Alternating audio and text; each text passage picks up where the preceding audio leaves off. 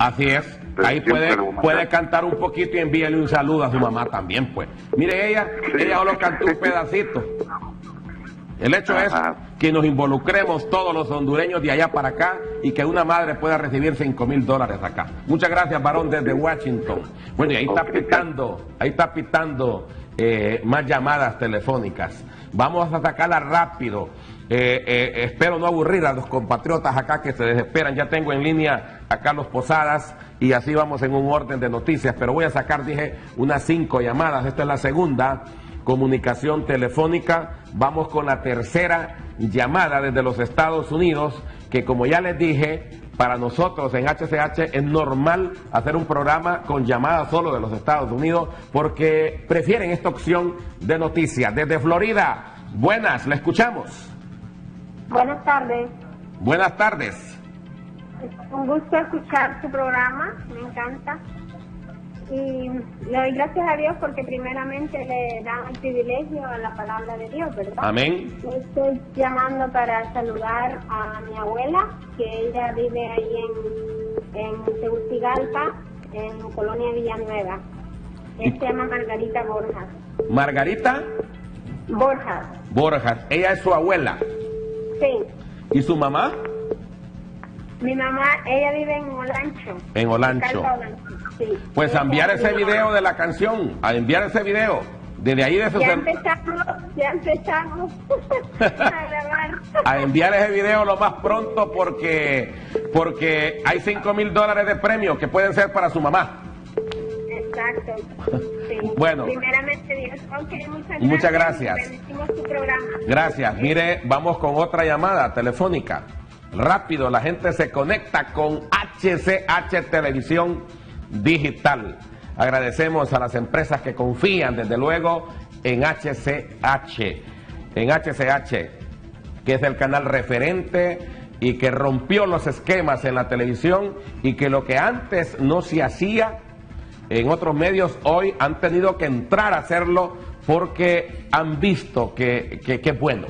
Desde Texas, buenas tardes Texas, ¿cómo está? ¿Quién nos llama?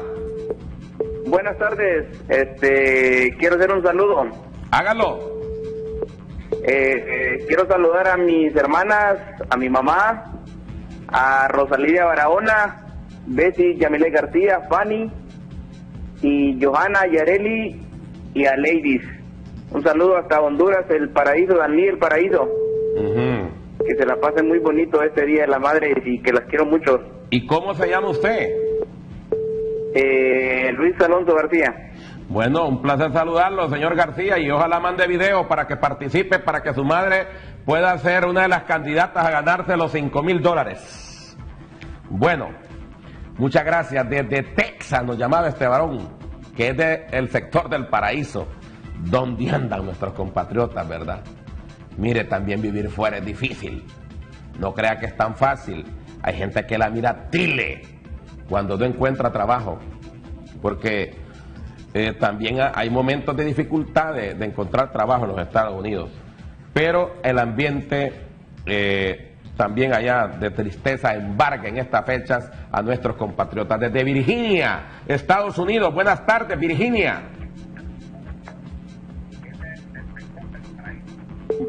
Buenas tardes Virginia, Hola, buenas tardes. ¿cómo está? Un placer saludarla. Muy, muy bien, mucho gusto, don Eduardo, de mirarlo. ¿Y cómo se llama? Carolina Brizuela, ¿Y de dónde eres, Carolina? De Tegucigalpa, Honduras. ¿Y tu mamá vive aquí en la capital? Ahí en Tegucigalpa, sí. Eh, ¿Cómo se llama su mamá? Elsa Margarita Gómez Varela. Bueno, un saludo para ella que de seguro ha de estar escuchándola o de estar escuchándola a esta hora. Sí, muchísimas gracias, don Eduardo. Le quiero decir a mi mamá que la amo mucho, que la quiero un montón y que me hace mucha falta. ¿Verdad que se siente ese vacío estando allá? Ay, sí, se siente un vacío y estoy muy emocionada por estar en línea y estar hablando con usted y por medio de usted estar eh, diciéndole a mi mamá cuánto la amo. Bueno, y ahí está, mire, la oportunidad de la canción del Banco Atlántida que está premiando con HCH a una madre de ustedes eh, en el extranjero para poderle regalar a una acá 5 mil dólares. A ok, amén, amén. a entrar, a, entrar a la página, ahorita que estoy hablando con llamadas del extranjero, es bueno que pongan ahí que eh, hay que entrar a las páginas al Facebook de HCH y al Facebook de la, del Banco Atlántida. Hay que mantener eso en pantalla para que la gente sepa. Muchas gracias. Voy a sacar otra comunicación telefónica más. Otra comunicación telefónica más. Ya les he dicho que aquí podemos hacer un programa solo con llamadas internacionales. Desde Dallas, Texas, otra vez. Buenas, ¿quién nos llama? Desde Dallas. Buenas tardes. Buenas tardes. Sí, les habla Betty Brooks, de Dallas, Texas. Dígame, señora Brooks. Dígame, le escucho. Sí, don Eduardo. Sí, le escucho, dígame. Muy buenas tardes, don Eduardo. Este, bueno, mi madre pues ya está muerta, pero quiero saludar a mi tía, que es como mi madre. Y pues eh, me siento triste, ¿verdad? Por ella, porque no la tengo, pero igual pues me siento feliz de estar hablando aquí con ustedes y que nos den ustedes la oportunidad de poderles hablar. Sí. Eh, eh, los extraño mucho, quiero decirle que lo veo casi todos los días. Eh, estoy siempre viendo el programa. Y buena manera de participar es enviando un video. Sí. Un video, un video, usted entre a la página o al Facebook de HCH o al Facebook del Banco Atlántida, ahí está la letra de la canción, usted la canta, la, la puede enviar como usted quiera o, la sube ahí, desde luego ahí está todas las indicaciones y tiene opción a que, a que su mamá, en su caso que ya murió, dice su tía, pueda ganar 5 mil dólares. Sí. Bueno, muchas gracias. Voy a sacar una llamada más y cierro en este momento las llamadas. Le he pedido a Rina que en la tarde hagamos esto también en y en los otros programas. Siempre es bueno en los noticiarios sacar unas cinco llamaditas de nuestros compatriotas allá en los Estados Unidos. Cuando abrimos el teléfono, ahí están nuestros compatriotas y vamos con esta llamada, una, una más compañeros, una llamada más, por favor. Yo sé que la planta está llena, que tiene que ir entrando llamada por llamada. Esta es desde Texas. Bueno, ¿cuánta gente nos mira en Texas, en Miami, en Washington, en Los Ángeles? en todas partes, en New Orleans, donde hay hondureños, ahí está HCH. Buenas tardes, Texas. Buenas tardes. Buenas. El retardo influye un... El, retardo influye un poco, ¿verdad? Usted no se preocupe, pero vamos rápido con la otra llamada. Dije que iba a sacar una más y comienzo con Carlos Posadas a hacer resúmenes breves resúmenes breves con nuestros compañeros, pero tengo obligación de sacar una llamada más. Yo sé que los compatriotas están ahí porque es un único teléfono que tenemos. Queremos decirles que es un único teléfono que tenemos. Y ese teléfono va recibiendo una por una. Desde Canadá. Buenas, buenas Canadá. Muy buenas tardes, don, e-, muy buenas tardes, don Eduardo Maldonado. Aquí los saludo desde el estado de Alberta. En Canadá. ¿Aló? Sí, aquí lo estoy saludando desde Alberta, Canadá, y quiero saludar a mi madre hasta Pedro Francisco Morazán y a mi madre que se llama Rosa Eva Medina y, y a todas las madres de Cedros y sus alrededores del municipio. Eh, bueno, aquí estamos extrañándoles y bueno, los días más difíciles son ahorita el Día de la Madre y y en diciembre. Pues, y en Navidad, ¿verdad? Cuando está uno a larga distancia. Sí. ¿Y su madre está bien ahí en Cedro? gracias a Dios, pues ahí está. Alentadita ya ahí, pero ahí estamos saludando y a mi hermana y a todas mis tías está allá. Bueno, a cantarle a la mamá para poderle ganar esos 5 mil dólares. Eso sí, no, porque a ver si ni en el baño cantamos nosotros, pero ahí vamos a hacer la fuerza. Ahí vamos. ¿Cómo? No, ya la hemos puesto varias veces ahorita. Bueno, desde Canadá. Desde Canadá. Muchas gracias, muchas gracias a los compatriotas que nos han llamado. Vamos a ir en diferentes programas sacando llamadas. Bueno, vamos de inmediato entonces a noticias porque los hondureños acá también y allá queremos informarnos. Carlos Posadas lo tengo en la línea, es el primero, de ahí voy con Ernesto Alonso Rojas. Carlos Posadas está desde la carretera del norte, mire, ¿dónde está Carlos? ¿Dónde estás, Carlos? ¿Qué resumen de noticias tenemos? Hoy se ha detenido una, una banda de delincuentes en el sector norte de municipios del Francisco Morazán. Mire, ¿dónde está Carlos? ¿Dónde está este bárbaro? Mire, ¿dónde está este bárbaro? en un rótulo, ah, en un puente. Bueno, bien, ah, está en la salida del norte, en la salida de la carretera del norte, ya me ubiqué, de ingreso a Tegucigalpa, y es bien bonito de noche. Buenas, Carlos Posada, voy con usted. Así es, buenas tardes, licenciado Eduardo Maldonado, televidente de como la televisión digital ubicados en el eje carretero tanto de entrada como de salida de Ciudad Capital pues eh, un clima agradable que se siente aquí, fíjese, fíjese que ya cuando uno viene del Carrizal subiendo hacia acá arriba, se siente un poquito el clima más fresco, no como estar en el centro, allá abajo. Bueno, licenciado, eh, voy a comenzar con resumen de sucesos ocurridos desde anoche. Mire que anoche nos trasladamos al anillo periférico Aquí esta calle que, pasa por acá va a dar hasta este lugar donde fuimos. La colonia Centroamérica Oeste tiene eh, una entrada que es por el anillo periférico. Pues ahí fue encontrado el cuerpo sin vida de una persona del sexo masculino, el cual está como desconocido en la morgue judicial a esta hora. Está como desconocido en la morgue judicial una persona que fue encontrada ensabanada, no estaba en sacos, estaba ensabanada en este sector a la orilla del anillo periférico, en la entrada de atrás de la colonia Centroamérica Oeste. Aquí la misma historia, a saber quién, eh, en qué casa loca lo, asesinaron a esta persona, por qué la mataron, quién la mató y pues eh, ahí está como desconocido hace instantes. Estoy pendiente en la morgue, me he comunicado y pues eh, nada, todavía nadie ha ido a reclamarlo. También anoche lamentablemente un niño que iba con su familia a un partido de fútbol aquí en unas canchitas que hay en la colonia Los Ángeles, se cayó del vehículo en el que llegaron a este lugar. Al parecer el, el abuelo me dicen que estaba estacionando el vehículo y él se cayó y pegó con la cabeza y pues falleció. Un niño de cuatro años, me, daban la información anoche, una muerte accidental. Bueno, nos trasladamos hasta Talanga. A Talanga han detenido la banda de los Montes Ramos.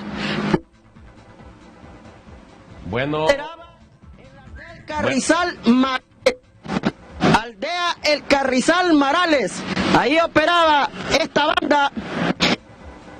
Bueno, vamos a, vamos a, pedirle a Carlos Posadas que se baje del puente, porque se ha retirado mucho de, receptor de el teléfono inalámbrico que anda, que se acerque más y sigamos viendo las tomas de esta banda que ha sido detenida, dice, en el sector de, bueno, fue presentada en Talanga pero dicen que esa banda operaba en varios municipios ahí cercanos, en San Ignacio, El Porvenir, eh, Cedros, Marales, y hoy las autoridades en intensos operativos les han dado detención.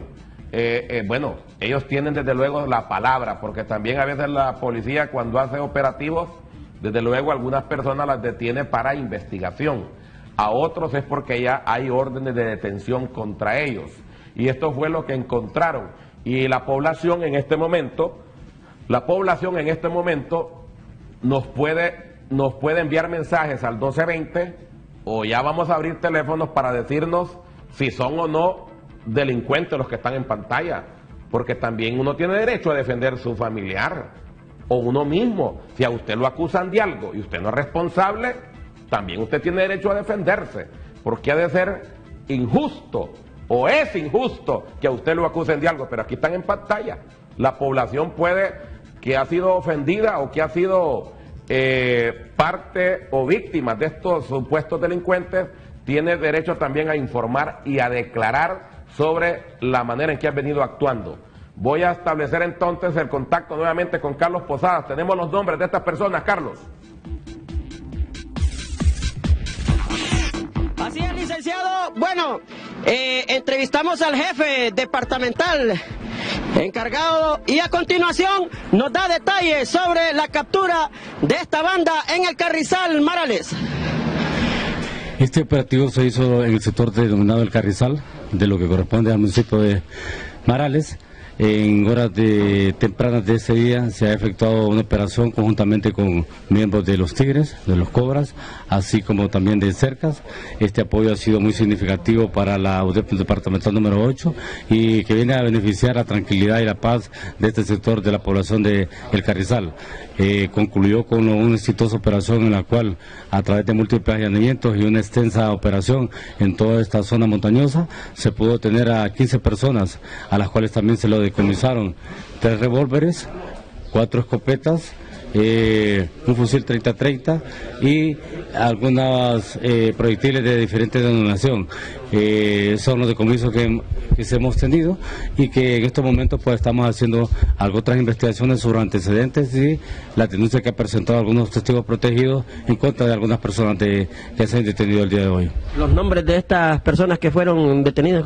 Entre las personas que tenemos, tenemos a Calixto Serrano, a Heriberto Montes Rodríguez, a Estul Amado Ramos Arteaga, José del Tránsito Aguilar, Andrés Serrano, Fabio Saturnino Montes Ramos, Olman David Montes Ramos, Sergio Montes Serrano, William Armando Montes Castro, David Montes Serrano, Ramón Rosa Cálix Velázquez, José Natanael Vanegas Montes, Adolfo Celestino Cruz Posadas, Modesto Montes Serrano y Carlos Modesto Montes Ramos. Estas son las personas, con un total de 15 personas, en las cuales se le va a hacer la acción pertinente de poder investigar más sus antecedentes, más las acciones de que en estos momentos están presentando la denuncia y se está presentando unos testigos al Ministerio Público para hacer la labor correspondiente jurisdiccional. ¿Qué tipo de delito lo que cometían esta gente? Eh, lo que más se, se pendía de ellos era la situación de robo y asalto en algunos puntos de este lugar que conlleva a, otros eh, departamentos fronterizos en este sector de la montaña y también así como también eh, algunos eh, homicidios en relación a, que esta persona ha sido denunciado y que en estos momentos, pues a través del decomiso de algunas armas que se encuentran este, el día de hoy, eh, serán investigadas, analizadas, periciadas y posteriormente las investigaciones pertinentes porque hay gente que ha sido denunciada por delito de homicidio. Situaciones en las cuales nosotros eh, miramos un éxito muy eh, favorable para la ciudadanía, en la cual va a tener tranquilidad en todo este sector. Como exitoso, entonces, catalogan ustedes este operativo.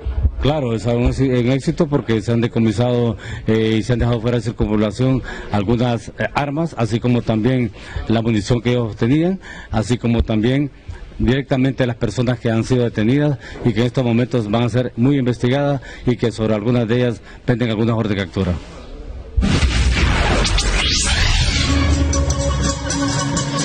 Bueno, esto era lo que nos decía, esto era lo que nos decía el jefe de aquí del municipio de Talanga, este subcomisionado. Bueno, licenciado, esto es lo que ocurría en el Carrizal Marales, han detenido a esta banda, pero déjeme decirle que ahí hay 15 detenidos. Ocho sí tenían eh, orden de captura, es lo que me dijeron, y los demás para investigación, porque ahí miré una señora yo que nada que ver. O a saber, va, o, ¿cómo es que dice el dicho? Cara vemos, corazones no sabemos. Ahí vi una gente hasta en botas de que estaban detenidos. Bueno, también para finalizar, hoy en las faldas del Pedregal han sido detenidos dos mujeres, perdón, dos hombres y una mujer. Dos hombres y una mujer con armas, droga y también una mochila tipo militar. Fueron detenidos por la Policía Militar de Orden Público que pues eh, los capturó en fragancia en este sector de la falda del Pedregal a estas tres personas, dos hombres y una mujer. Pues eh, gracias a, mi compañero Tavo Ramos que me dio apoyo porque yo andaba en Talanga al momento que ocurría la detención de estas tres personas que ya fueron puestas a la orden de los juzgados, portación ilegal de armas, asociación ilícita y también tráfico y posesión de drogas. Licenciado, tranquila ciudad capital y este es eh, mi reporte a esta hora de la tarde, gracias al apoyo de Javier Ochoa, Ángel Sevilla. Aquí desde la unidad móvil número uno, en el eje carretero, entrada y salida a Ciudad Capital. Licenciado, buenas tardes.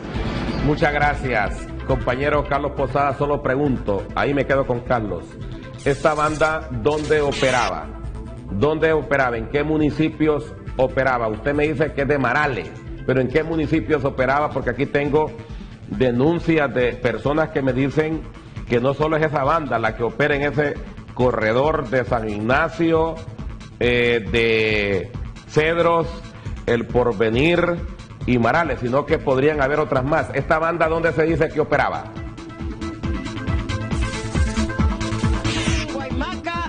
Y en eh, algunos municipios fronterizos de Lloro con Francisco Morazán, licenciado. O sea, esta banda se mueve en varios puntos y pues eh, ellos es robo de ganado, sicariato, también eh, asalto a carros repartidores. Usted sabe que estas zonas son bien aisladas. Incluso no hay mucha presencia policial porque pero por ahí tiene que pasar la gente y ellos hacen tipo de emboscada y ahí donde realizan los asaltos ya se tenía desde hace varios meses, dicen pues la información la policía hasta que montaron el operativo y hoy le han dado captura decomisándole estas armas hasta binoculares, licenciado. Desde la salida del norte, como bien dijo, con la unidad móvil número uno. Ahora vamos con la unidad móvil número dos de Tegucigalpa nos vamos hacia San Pedro Sula. Está el periodista Ernesto Alonso Rojas, a quien vamos a identificar en qué sector está listo. Ampliemos tomas, compañeros, así como hicimos con el compañero eh, Carlos Posadas, ampliemos toma para poder ver y ubicar a los periodistas, a nuestros compañeros, los vemos todos los días acá, pero es importante ubicarnos en lugares estratégicos. Mire, estamos desde el Parque México del filósofo Benito Juárez. Ahí está nuestro compañero Ernesto Alonso Rojas, que nos informa también, bueno, quiero que Neto me diga, de la calurosa, de cómo está San Pedro Sula a esta hora desde el Parque México del filósofo Benito Juárez. Voy con usted, Ernesto Alonso Rojas.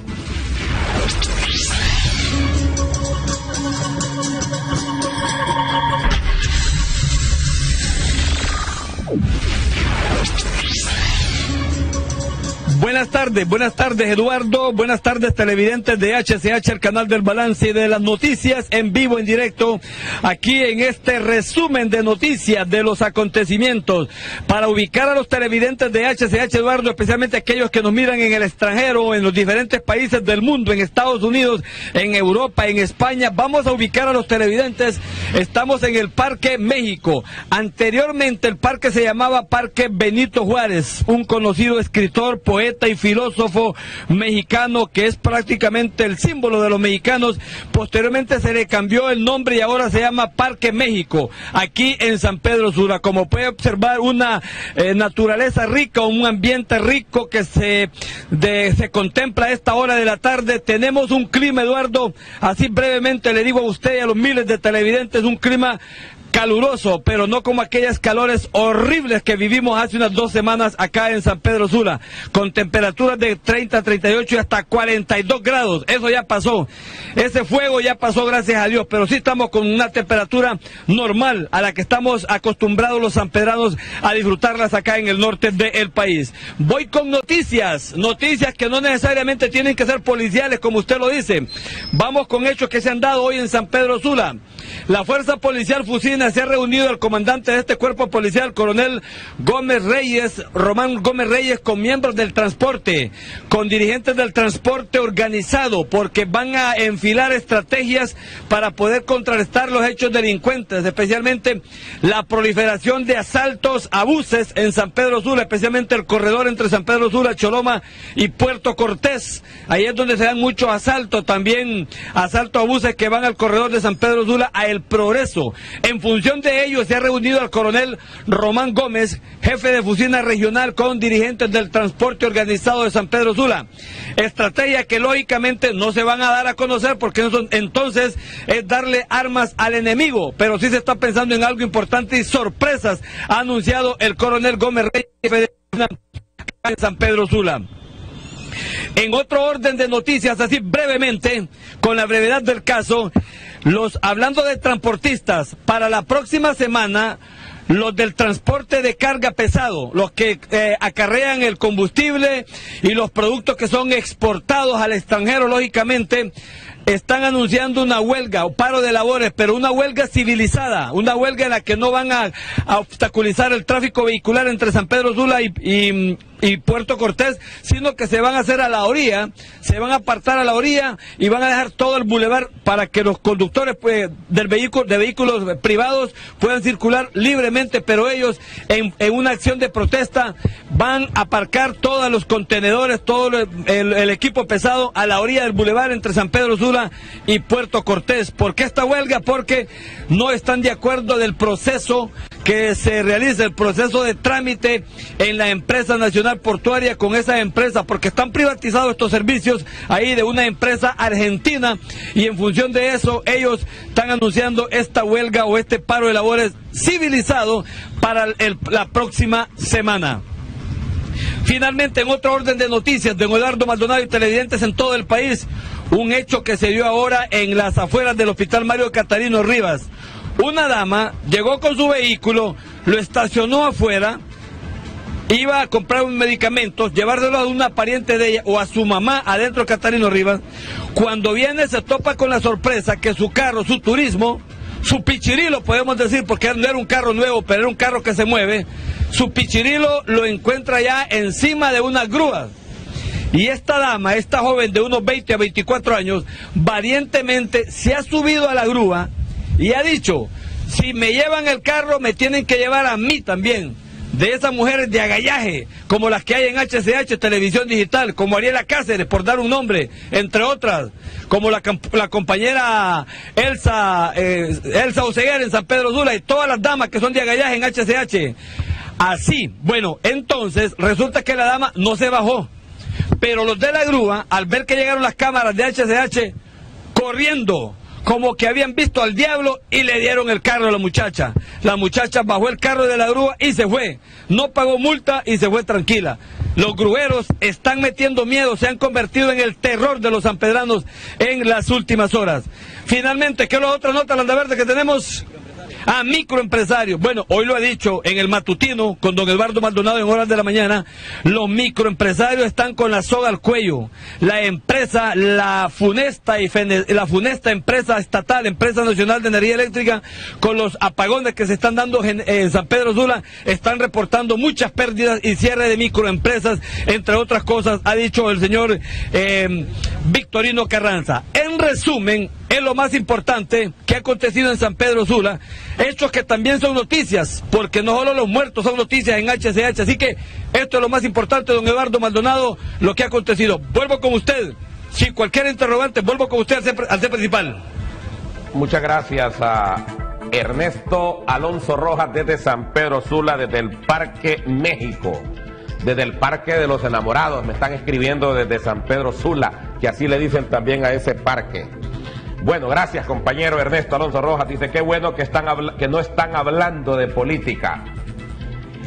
Y me siento como radiotransitor. Esos políticos le cambian la frecuencia a cada rato a nosotros los hondureños. Gracias por darnos la oportunidad de poder participar. Dios le bendiga, don Eduardo. Maldonado dice, me gusta ver a HCH, quiero participar en los regalos. Quiero ganarme un premio, soy de Orica, me dicen acá. ¿Cómo no honrar a Dios una vez más en la vida si entre los muchos tesoros que me dio es a mi madre querida? Feliz día Julia Cáceres. Me gustan todos sus programas. Dios los cuide. Hola Maldonado, Dios le bendiga, me dicen acá. Son mensajes que nos están llegando. Hola, buenas tardes Eduardo, soy fiel oyente de su programa y quiero decirle que esa banda a la que supuestamente acusa son personas y ahí se me queda. Son personas, yo le bendiga Eduardo, deseo participar. Saludos a Elvia hasta Choloma, que cumplió años el lunes. Maldonado, quiero participar. Felicidades a todas las madres anticipadamente.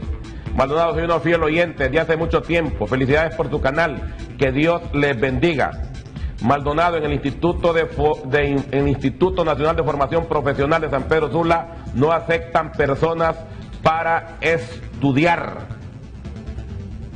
Hola, muy buenas tardes. Quiero mandar un saludo hasta la colonia Travesía para la mejor mamá del mundo, Reina de Lazo, que la queremos mucho de parte de sus familiares. Lo felicito, Maldonado, me dicen acá. Saludos a mi mamá Norma, que está viendo el programa desde la colonia Canaán. Dice acá otro mensaje. Este mensaje es para, dice, esa banda operaba asaltando buses de Lloro a Zulaco, me dicen. Felicidades Maldonado, porque Maldonado, porque HCH es el mejor canal y el más bueno. Ustedes son diferentes. Un saludo desde Campamento Lancho para don Eduardo y familia. Muchas gracias. Buenas tardes, don Eduardo. Yo no me pierdo su programa. Quiero participar. Un poema para mi madre linda, madre querida. Tú eres mi sol que alumbra mi vida y por las noches tú me abrigas y cuando estoy triste tú estás conmigo. Gracias, madre bella, te amo. Y tengo miles de mensajes. Hola, don Maldonado, soy de Tela y me quiero ganar un premio. Quiero felicitar a mi madre Julia Cáceres, fiel televidente de su canal. Una bendición de Dios en nuestras vidas. Dice, para que no haya tanta violencia, se tiene que cortar de raíz desde los que están en la prisión. Tienen que matarlos a todos, dice acá. Queremos cámaras. Ponga atención usted, Ernesto Alonso Rojas y compañera allá, eh, Oceguera. Queremos cámaras en carretera de Ticamaya, porque es un desastre de calle. Dígale a Neto, don Eduardo, para que mire el alcalde que no se haga el ciego. Pero creo que mostramos un reportaje en las calles de Ticamaya eh, con Elsa. Hola, don Eduardo, ¿qué tal está? ¿Cómo quisiera ganarme uno de los premios? Y tengo miles de mensajes. Gracias a todos los oyentes y televidentes. Bueno, eh, Carlos Posadas estuvo en la móvil número uno. Ernesto Alonso Rojas en la número 2 desde San Pedro Sula.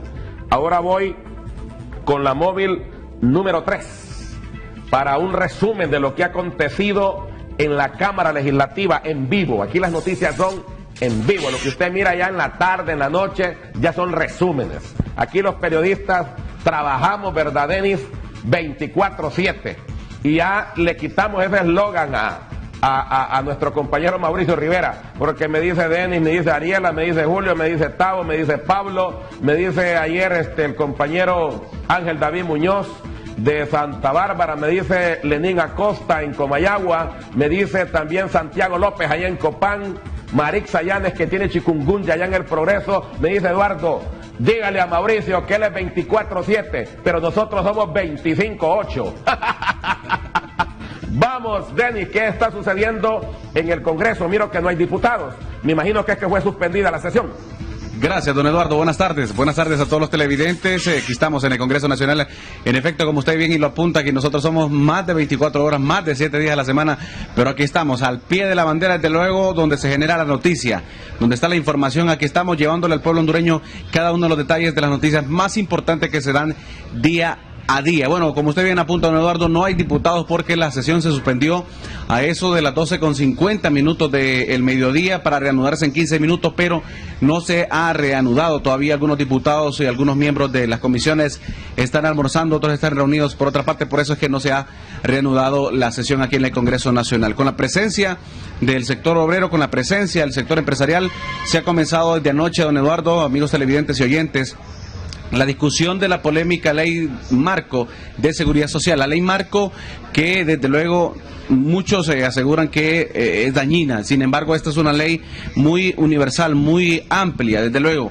Para la ley del seguro social específica va a haber otra, otra, otro tipo de reglamento. Entonces, esta es una ley marco. Sin duda que hay argumentos importantísimos que hay que destacar. Apenas eh, hoy miércoles todavía se debate en el sexto artículo. Estamos en el sexto artículo, sin embargo, ya hay algunas eh, situaciones que son eh, de debate aquí en el Congreso Nacional, como específicamente algunos han señalado la tercerización o la entrega de los servicios de salud a empresas o ONGs, en otras palabras más sencillas, privatizar la eh, salud pública. Bueno, estamos en el artículo 6, todavía faltan 52 artículos, consta de 58, es un nuevo dictamen Muchos han asegurado que no participaron, los, el sector eh, obrero no participó a 100%, el sector del magisterio tampoco participó, los médicos tampoco participaron, es decir, un dictamen que se lo sacaron eh, debajo de la manga. Pero aquí tengo unos argumentos importantes que han hecho eh, el debate y me gustaría, don Eduardo, así brevemente, si usted me da el espacio, poder hablar, sobre todo en el artículo número uno, en el, en el artículo número dos, pero en el numeral número nueve, donde se hablaba de las gestoras de servicios de salud. Esta en el dictamen anterior no estaba contemplado, sin embargo, eh, las gestoras de, de salud, de servicios de salud, que son las que podrían participar para poder brindar los servicios de salud, eh, no estaba contemplado en el proyecto anterior, sin embargo en este proyecto sí va y fue aprobado. Ya fue aprobado este artículo, es decir, eh, no hay vuelta atrás.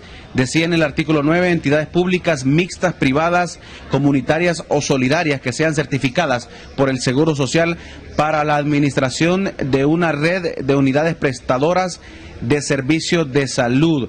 Es decir, en esta parte es un intermediario, es decir, que se estaba entregando el servicio del Seguro Social o el servicio de salud que presta el, Seguro Social, se entrega a unas intermediarias, es decir, eh, ya la facultad constitucional que el Estado, a través de la Secretaría de Salud y en el caso del Seguro Social, tenía la obligación de brindar la salud al pueblo hondureño y ahora también le da la responsabilidad a terceros para que puedan participar, es decir, la salud eh, también va a formar parte de otras empresas, como le han denominado una privatización del eh, seguro social. Por otra parte, don Eduardo se mencionaba del incremento. Eh, también, todavía estamos en el, artículo número 6, sin embargo, el tema de los aumentos, 3.5 actualmente cotiza todo hondureño que está afiliado al Seguro Social, 3.5. Y el RAP que se cotizan es un 3%. ¿Qué es lo que sucede con esta ley o con este nuevo dictamen? Se une, se une para que sea una única aportación de 6.5%. Es decir, que la gente que eh, no aportaba al RAP o decidía no aportar al RAP, obligatoriamente ahora afiliada al Seguro Social tendrá que pagar un 6.5%. El 3 que era del RAP, si no lo pagaba, ahora obligatoriamente lo va a pagar en nuestra en este nuevo ley que eh, desde luego todavía falta la discusión.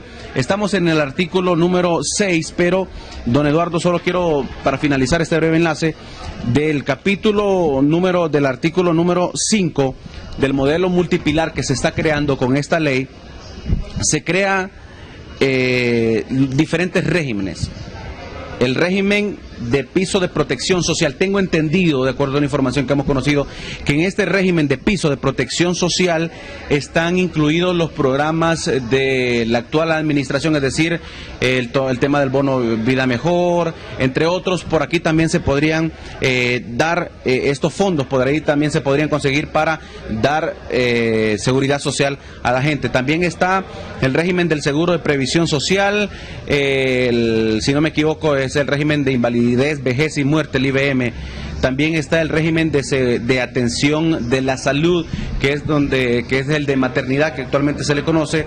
También está el régimen de seguro de riesgos profesionales y el régimen de seguro de desempleo, que ahora se le llama, un, eh, tiene otro nombre en este artículo. Pero esta es la, parte toral donde eh, algunos eh, clase obrera están en contra. Pero en el artículo eh, del nuevo dictamen de la nueva ley, le voy a ser eh, franco, en este establece en el régimen número 5 que es el régimen de seguro de cobertura laboral. Este es el que se conocía como el 4% que el empresario, que el empleador, que el jefe tendrá que aportar al seguro social el 4%. Ya en el momento que la persona se retire, ya va a tener por lo menos la mitad de su dinero adelantado para poder retirarlo. Estos son de algunos de los beneficios que han mencionado. Sin embargo, el tema de eh, el aumento al 6.5% y la privatización, es decir, entregar a terceros el régimen de salud, es lo que preocupa. Que son dentro de los seis artículos que se han aprobado dos puntos torales que preocupan a diferentes clases que están aquí. Repito, don Eduardo. El clase obrera está aquí, el sector empresario. Dígame. Denis, en todo lo que hemos resumido, desde luego usted está explicando la discusión de estos primeros seis artículos que se han aprobado en la Cámara Legislativa, luego de que se presentara un nuevo proyecto que venía o llegó más consensuado a la Cámara Legislativa, debo de concluir en lo siguiente, porque no podemos mentir a la población. Esta nueva ley de seguridad social trae, trae un paquetazo trae un leñazo. Y el leñazo consiste, Denis, el leñazo consiste en que va a pagar más el patrón y va a pagar más el derechohabiente, el empleado. Eso es así de, de fácil, es así de fácil de digerirlo. Eh, todos los hondureños al final vamos a pagar el robo del siglo que se hizo en el Seguro Social. Prácticamente se está haciendo desaparecer la ley bajo la cual funcionaba el Instituto Hondureño de Seguridad Social y se está creando una ley nueva, pero con la novedad que esta ley va a incluir a personas que no estaban afiliadas al Instituto Hondureño de Seguridad Social. En otras palabras, se va a permitir que gente particular, que sin tener patrón, pueda pagar su derecho a poder estar y recibir atención médica en el Instituto Hondureño de Seguridad Social. Entonces, resumimos diciendo, la ley es importante porque nos garantiza seguridad social prácticamente ahora a cada uno de nosotros los hondureños que nos enlistemos en ese, en ese seguro social, en esa nueva ley. Pero debemos de decirlo transparentemente que viene una situación de aumento. Va a pagar más el patrón pero va a pagar más el derechohabiente, el empleado. Pero la pregunta es, eh, bueno, muchos, muchos quizás tengan el billete, o muchas empresas quizás tengan el dinero, las transnacionales o empresas grandes que hay en el país, no importa que le suban un porcentaje para pagar por su empleado, pero que de aquellas pequeñas empresas que con mucho esfuerzo como patrón también pagan la cotización a que tienen derecho sus trabajadores. Queremos dejarlo claro para que la gente quede completamente informada, compañero Denis.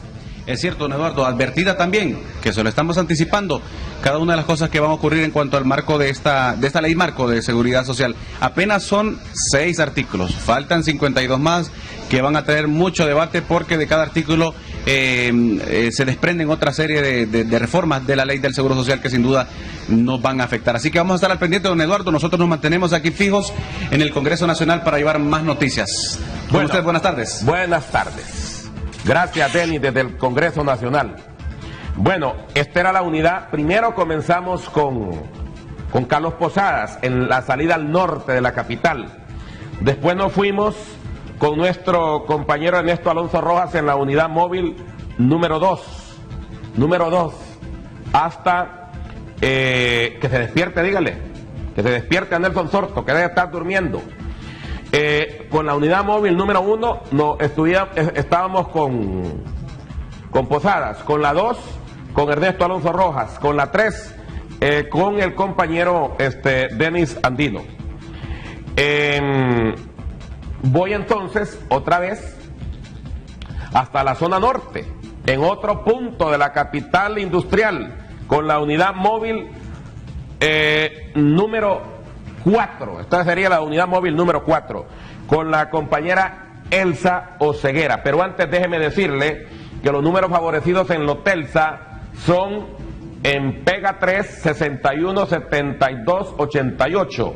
En premiados el 2, en premiados, perdón, 69 y 48. Y en la diaria jugó el número 22 con el símbolo ataúd. Qué feo. 22 en la diaria, premiados 69 y 48 y en Pega 3 61 72 83. Antes de ir con la compañera Elsa Oceguera, eh, quiero informarles de un accidente automovilístico que se registró hace algunas horas Y tengo algunas fotografías de nuestros televidentes. Se durmió el 24-7, creo que no informó de esto Mauricio. Pero me dicen que en San Antonio, bueno, le queda un, lo queda un tanto distante, estoy, estoy, estoy de acuerdo, le queda un poco distante. Pero en San Antonio de Flores, Choluteca, sucedió este bombazo, miren, qué bombazo. Eh, chocó esa, yo creo que una Tacoma, ¿va? Una Toyota, una Tundra, con ese camión. Fue bombazo. Esto fue en San Antonio Flores, Choluteca. Esto fue frente a la represa, en el kilómetro 71, carretera al sur, frente a la represa, creo que es de, esto está entre Nacaome, creo, Nacaome, la represa.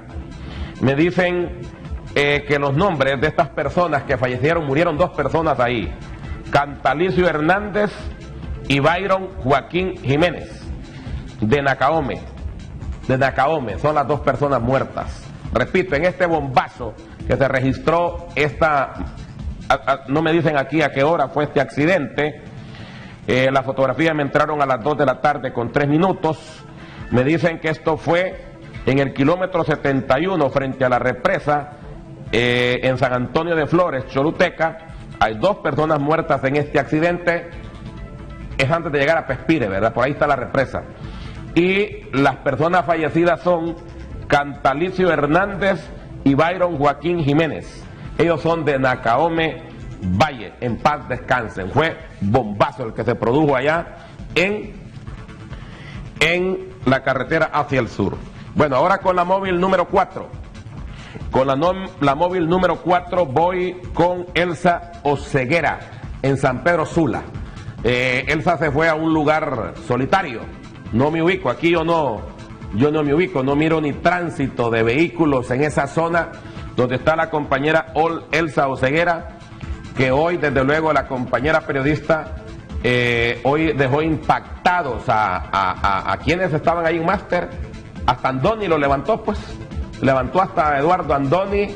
Eh, estaba ahí este Oscar Gómez. Estaba ahí este eh, Walter Caballero. Estaba ahí Dani. Dani. ¿Quién más estaba ahí? Eh, Carlos, hasta, bueno, Carlos.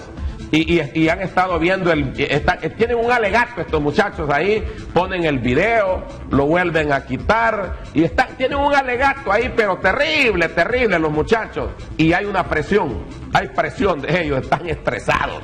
Pero tengo a nuestra compañera periodista Elsa Oceguera, está lista desde el Boulevard de los Caminantes lugar donde salen a caminar y correr los sanpedranos. Mire, qué bueno, me dan detalles, la gente aquí está activa, activa. Vamos entonces con la compañera Elsa Oceguera desde San Pedro Sula con más noticias.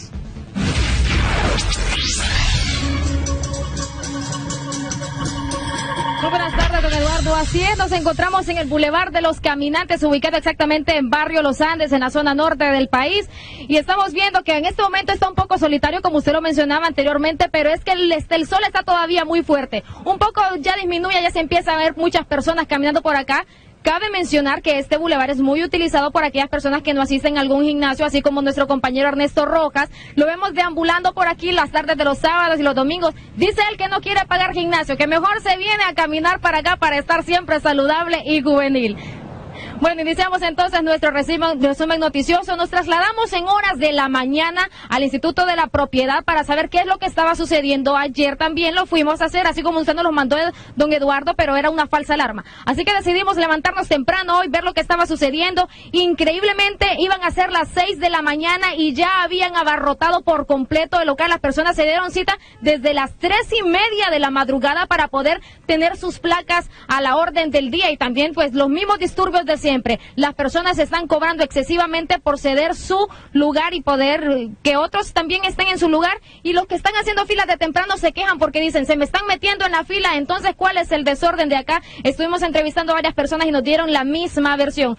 Luego, más tarde, nos fuimos a la Liga contra el Cáncer. Está atrás del Hospital Leonardo Martínez. Lo que sucede ahí es que las grúas de la municipalidad están levantando los automóviles a diestra y siniestra. Sabemos que hay pacientes que están muy graves de salud, algunos no pueden ni caminar, dejan su automóvil, van a hacer sus quimioterapias, sus radiaciones. Lo que sucede es que las grúas instantáneamente sus automóviles desaparecen y aparecen nuevamente en la base de la policía municipal, teniendo que pagar estos, estas personas enfermas dos mil a tres mil empiras para que les puedan devolver sus automóviles. Lo que sucede es que el espacio ya se redujo, son tantos los pacientes que el espacio se redujo, ya está muy pequeño para poder tener un montón de automóviles que se parquean en ese lugar, así que estuvimos hablando con las autoridades y también con los pacientes que le hicieron un llamado al corazón y a la conciencia del alcalde San Pedrano, don Armando Calidonio. Nos trasladamos después a la Departamental de Educación de San Pedro Sula, donde un grupo de padres de familia estaban enfurecidos, estaban indignados y tenían de todo. La pregunta, ¿por qué? Lo que sucede es que sus pequeños que están cursando el sexto grado en la escuela Carlos Rivera López del sector Rivera Hernández en la colonia central específicamente ya llevan, escúchelo muy bien usted que está en casa, más de un mes sin recibir clases. Unos chiquitos de sexto grado tienen más de un mes de no recibir clases. ¿Por qué? Es el motivo es porque al maestro que lo tenían lo jubilaron, pero no se percataron que no había un sustituto para este, por lo que llevó a estos chiquitos a estar perdiendo las clases durante más de un mes. Se fueron a plantar en la departamental a exigirle al ministro de Educación que por favor pusiera mano al respecto. Nos dijeron, ya había venido el subdirector, ya había venido la directora, pero no le hicieron caso. Así que todos pedimos permiso en nuestro trabajo para venirnos a plantar acá y esperan la respuesta. Buscamos, claro está, a la directora de la departamental, pero ¿qué cree usted? No se encontraba y pues ni modo no pudimos buscar sus declaraciones y no pudimos encontrar lo que ella opina respecto a esto, si le van a colocar o no le van a colocar a este maestro a estos niños o definitivamente van a perder el año y no van a poder ingresar a secundaria en el 2016. Para finalizar, la reducción de la violencia y espacios en Chamelecón va de viento en popa.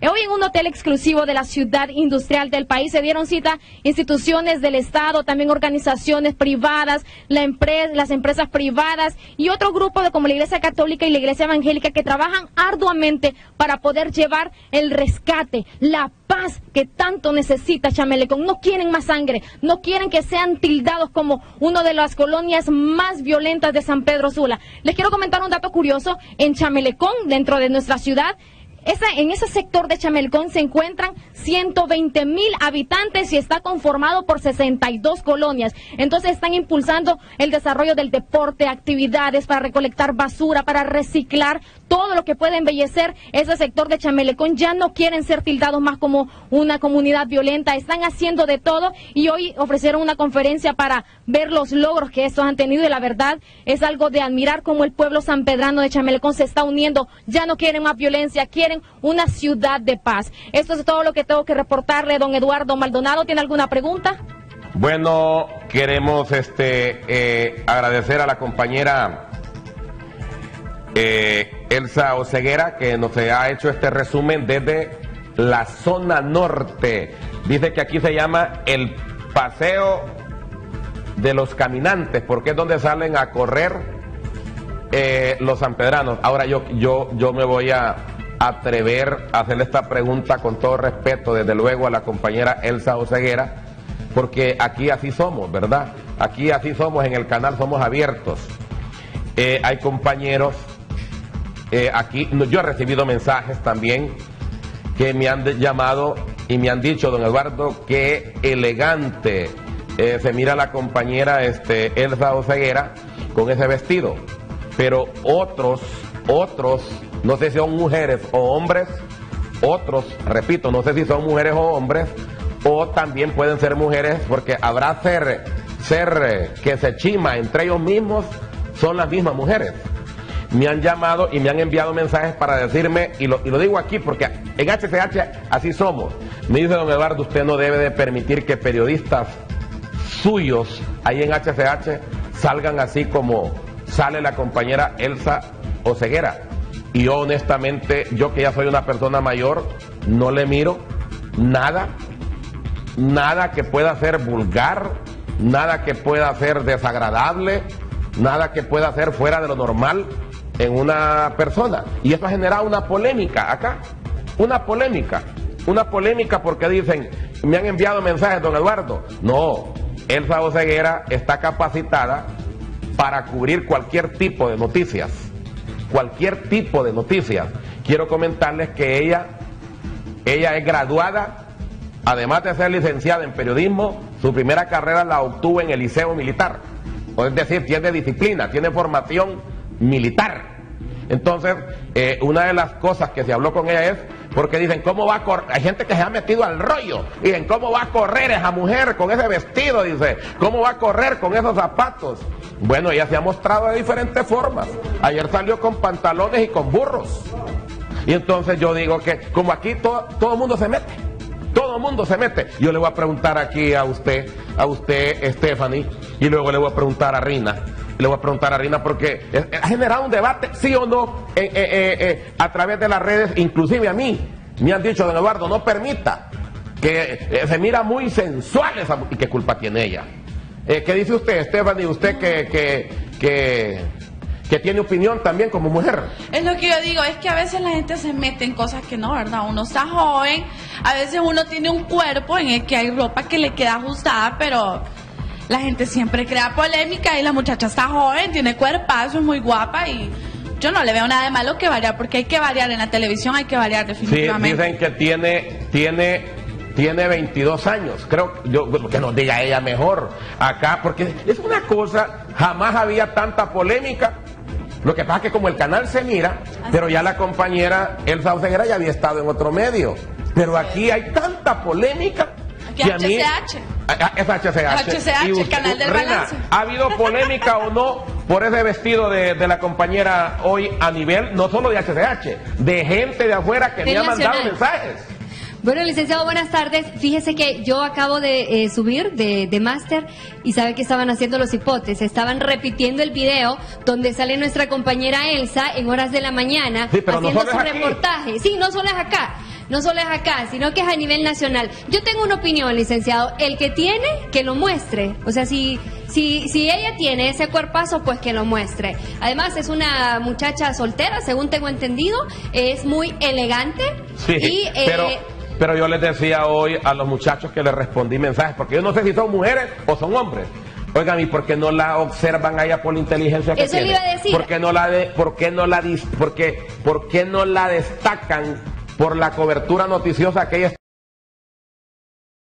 está haciendo, por lo inteligente que ella Correcto, es. Correcto, el primer reportaje que yo vi de ella pues fue montada sobre un bulto de basura, entonces eso digo yo, además de bonita, pues la muchacha es inteligente y, se nota que es una muchacha de runga, pues como son los periodistas de HCH. Fíjate que como, como aquí somos abiertos, hay gente que hasta me ha mandado un video ahí, un video para hacerle clavo un video para hacerle clavo. No, para eso sí están a la orden del día. Y sabe que han sido mismas mujeres.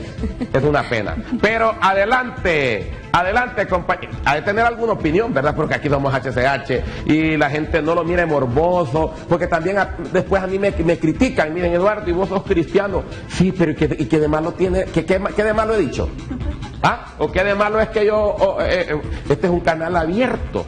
Compañera, para despedirnos allá, y si tiene algún comentario, pues es válido lo que usted diga desde San Pedro Sula. Eh, compañera Oceguera.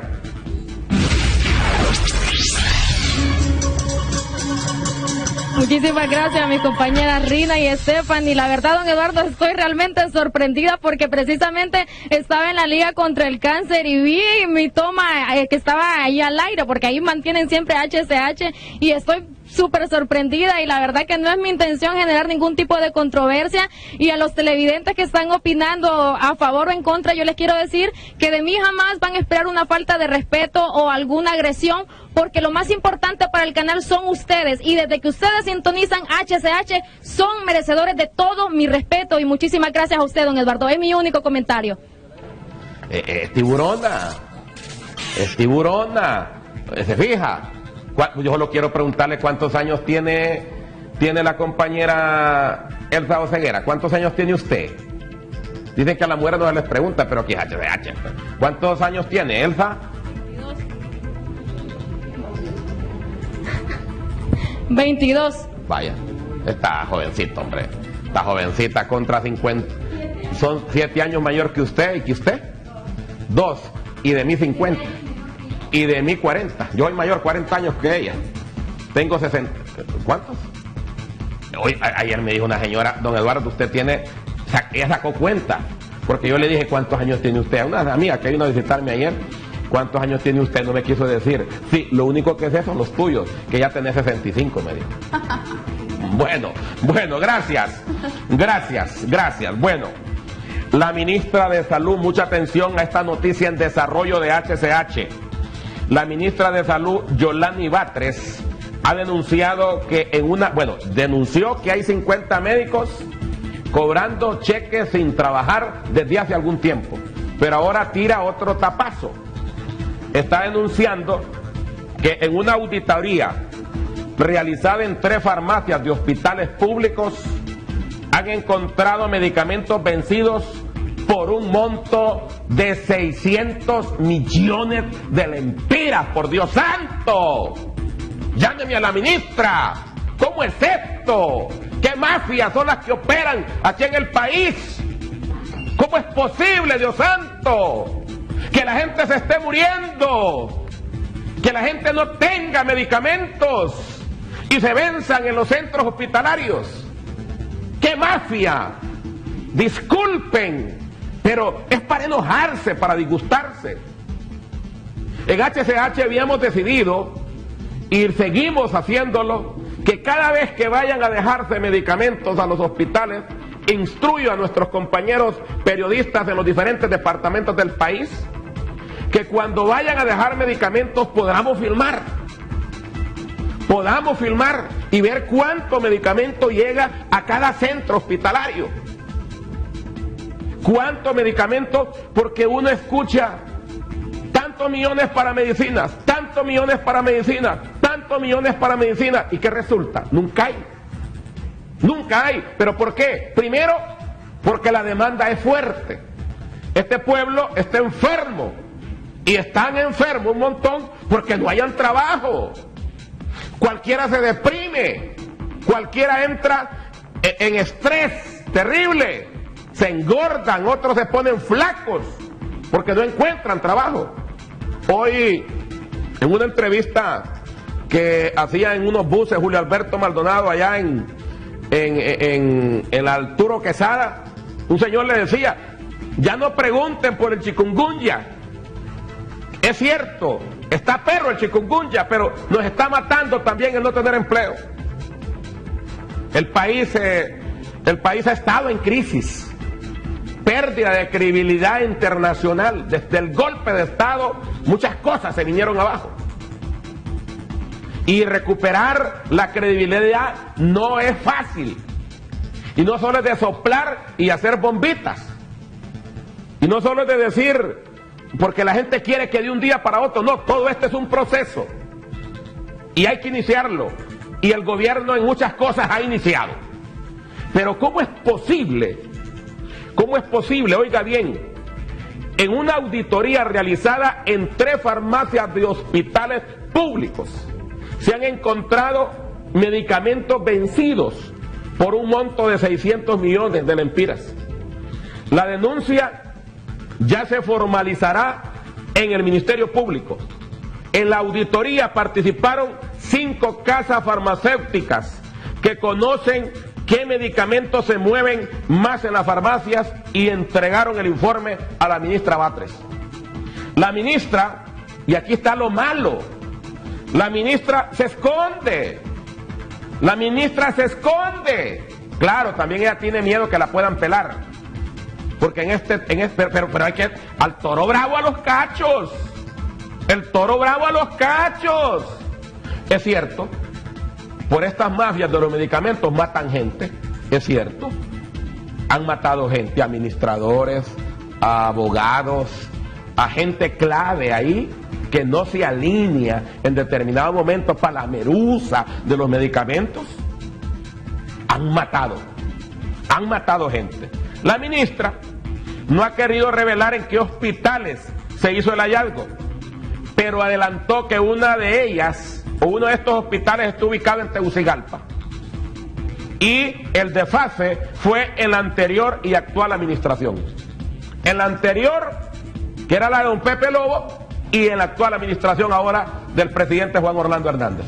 Óigame, ¿merece o no merece esta gente estar en la cárcel que juega con la salud del pueblo. ¿Merece o no merece estar en la cárcel? Llámenla ahí por el 193. Por el 193. Porque me parece que esto, o yo no sé si esto es algún tapazo o un globo sonda para pretender controlar el que la población esté reclamando medicamentos en los hospitales. De nombres. Metan al mamo a la gente que roba de esta manera. Aquí hemos dicho, ningún robo se justifica. Ningún robo se justifica. Pero el que roba, el que cobra coima, el que cobra movida por temas que tiene que ver con la salud del pueblo hondureño, esos son malditos. Discúlpeme la palabra. Yo no soy quien para maldecir a nadie. Pero son malos hondureños. Oiga bien, ¿por qué dejan que se venzan los medicamentos? Sencillo. Sencillo. Para que compren más. ¿Y quiénes son los que lo compran? También los que lo compran cometen errores. Porque, ¿Por qué compran medicamentos ya para vencerse? Porque también se ha dado eso, que compren medicamentos ya para vencerse. No hay tiempo para repartirlos, se vencen y ya estuvo la movida. Ya estuvo la movida. No puede ser. No puede ser, no puede ser. No puede ser. Qué horrible. Mientras la gente anda buscando acetaminofén para el chikungunya, mientras la gente anda buscando gasas, alcohol, toallitas, pañales, medicamentos para la artritis, para el corazón, para la diabetes. Los diabéticos ahí caminan urgidos. Gente que padece del corazón. Gente enferma, que está enferma. Producto de un montón de papadas que, que, venimos arrastrando. Aquí se vienen arrastrando un montón de papadas que enferman a la gente. ¿Cómo no se va a enfermar alguien? ¿Cómo no se va a enfermar alguien que tenga años de no encontrar un trabajo? pero aquellos que buscan, porque hay otros que se hicieron haraganes, se hicieron panzones y panzonas que solo quieren que el marido vaya a trabajar. Hay mujeres, hay mujeres que son las que están trabajando y el marido va soñando en la casa, no le da pena a usted. Óigame, acérqueme la cámara, acérqueme la cámara, porque le quiero hablar a estos panzones. No le da pena a usted. No le da pena que su mujer salga a trabajar temprano Escúcheme, sí, con ustedes estoy hablando. No le da pena que su mujer salga a trabajar temprano y usted se quede panza arriba ahí en su casa. ¿Ah? Panza arriba. Y quizás solo mire whatsappeando, tomándose fotos desnudos, enviándosela a otras mujeres o con la trabajadora en romance. No le da pena a usted. No le da pena saber que su mujer, mire, se marimbea en la calle o en el trabajo para ganar algún poquito más hasta haciendo horas extras y usted todavía de barzón en la casa porque no encuentra trabajo. Es el argumento que pone. Es el argumento que pone, porque trabajo hay. Lo que pasa es que aquí todo el mundo solo quiere también de ingeniero, de supervisor, de jefe. De jefe y algunos no se les puede decir nada, porque pegan el brinco.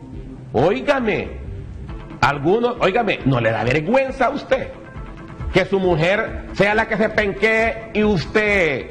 Bueno, algunos hacen el papel hasta de chivo, digo yo. De chivo porque la mujer es la que le lleva todo a la casa. Y ellos ni saben si la mujer tiene o no tiene otro marido. Quizás él lo tenga de guachimán en la casa. De guachimán solo cuidando allá los chuchos. No, hombre, sean serios. Sean serios, hay que buscar trabajo, porque trabajo sí hay. Trabajo sí hay. El otro día andaba un ingeniero buscando trabajo y le dijeron, yo vi, yo fui testigo. Mira, le dice, yo voy a iniciar una construcción. Lo único que tengo ahí es de bodeguero. De bodeguero, le dice, te voy a dar el salario mínimo y las horas extras cuando te ocupe. No, le dice, dale, dale. Si no hay trabajo de ingeniero, pero yo ocupo darle, darle de comer a mis hijos, dale. Ahí está trabajando. Yo lo fui a ver antier y ahí está, con casco y todo y trabajando. Si el que quiere trabajar también, es que aquí hay gente que solo quiere, mire Suricato, Él quiere trabajar de ayudante, ahí se ido metiendo. ¿Come o no come? ¡Come! Ahora gasta mucho en cigarro este también y en guaro. Entonces, no se vale, hombre. No se vale. 600 millones de lempiras vencidos en medicamentos. Y esto no es nuevo. Esto lo hace un montón de zánganos todos los años. Es como vender pastillas sin, sin las exigencias que exige el Colegio Químico Farmacéutico. Aquí hay droguerías famosas que venden medicamentos de almidón. Usted toma la pastilla y puro almidón. No tiene ningún componente químico, ninguna sustancia que realmente sea efectiva para curarlo a usted de lo que usted adolece. Pero qué desgracia. Ojalá que esto no se quede como un tapazo, si ya saben los nombres, si ya saben qué hospitales se dio, persigan a estas personas, hombre. Persíganlas, hombre. Bueno, ya me, ya me malié. Compañera Stephanie, mejor demos a conocer su promoción de tecnologías móviles de Claro. Así es, muchas gracias, licenciado, y muy buenas tardes a todos nuestros fieles televidentes y radioescuchas de HCH Vespertino. Yo le invito para que en este momento usted envíe la palabra NOTI al 2200, así que aproveche, esta es la oportunidad para que usted gane mucho dinerito este viernes. Este viernes son 10 mil empiras que le estaremos regalando, y hoy, hoy son 30 mega recargas quíntuple saldo que le estaré dando. Si usted viene y envía la palabra NOTI al 2200, solo tome su teléfono celular de Claro y envíe Noti al 2200. Son 10 mil empiras que pueden ser suyos, así que usted que está ahorita en estos momentos viendo HCH Despertino, no pierda la oportunidad, no pierda el chance de ser uno de nuestros felices ganadores que solamente tecnologías móviles y Claro, por supuesto, la mejor telefonía le da la opción, le da la oportunidad para que usted gane mucho dinero. Envíe desde ese momento Noti al 2200. El mensaje es completamente gratuito pero le comento que si usted se mantiene suscrito, estará actualizado, estará recibiendo las mejores noticias y así que usted estará enterado de todo lo que acontece a nivel nacional e internacional. Así que envíe en ese momento la palabra Noti al 2200. No olvide este viernes, 10 mil empiras se irán, así que aproveche la oportunidad. Muchas gracias, licenciado. Eh, con Carolina, antes de irme con Carolina, rapidito, voy a sacar algunas llamadas. Yo no puedo estar quieto si no participa eh, la gente que nos está viendo y nos está escuchando sobre los temas que hemos abordado y Carolina se prepara con las visitas que hay allá eh, y ahí vamos avanzando. Tenemos pendiente la unidad móvil número 5 con Nelson Sorto que ya va también al aire. Eh, aprovecho para sacar estas llamadas telefónicas rápido, todo mundo despierto. Mire, me dicen acá, bueno, la gente me sigue escribiendo, deme el número de posadas que en Sabana, ah no, este es viejo, esto es viejo. Esto es viejo. Bueno, nosotros aquí, eh, con Lomas del Norte, buena, le escuchamos. Sí, buenas tardes, señor. Sí, señor. Mire, en eso de las medicinas, pareciese que las sacasen las medicinas, las llevan a los hospitales y en los hospitales o en la, o en la farmacia no las venden y cuando se vencen piden el mismo producto pero como ya no es vencido, piden el mismo producto y llevan la vencida a los hospitales. Entonces, prácticamente, esa es mi forma de verlo, ¿verdad? Pero cada quien tiene su opinión y es lamentable tener tanto enfermo en Honduras y que no se consuman las medicinas que necesitan las personas que están enfermas. Muy buenas tardes. Bueno, muy buenas tardes a usted. Eh, en HCH hacemos lo que podemos. No somos una ONG no somos una ONG y cuando damos algo, lo damos de corazón y es de lo que ganamos. Aldea El Carmen, San Pedro Sula, buenas. Don Eduardo, buenas tardes. ¿Mm? Dígame, señor, le escucho. Pues para felicitarlo por su programa, soy un fiel televidente de las 5. ¿Aló? Le escuchamos, señor. Le escuchamos, señor. Buenas tardes. Bueno, se le cayó la llamada. Colonia La Peña, buenas. Aló. Sí. Eh, señor Maldonado, eh, quiero felicitarlo por el tema que acaba de tocar. Mire, yo soy un paciente del San Felipe eh, de psiquiatría. Fíjese que antes nos dan la cita, por ejemplo, yo ahorita fui el 17 de abril y me dieron la cita para el 17 de junio. Saque la cuenta y me toca tomarme dos pastillas al día de rebacín eh, y solo me dan eh, 30 pastillas. Enamorando al doctor, eh, me da las 60 pastillas. Sí. Saque la cuenta usted si me van a ajustar esas pastillas. Una persona que yo tengo 12 años de tomar ese medicamento, ¿cómo cree que me voy a poner yo o cómo cree que me pongo si yo no me tomo esa pastilla un día, dos días? Sí.